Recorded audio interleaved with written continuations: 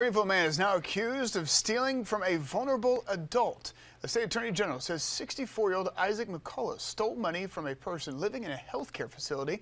A.G. Wilson says he was in charge of the victim's money and stole more than $10,000.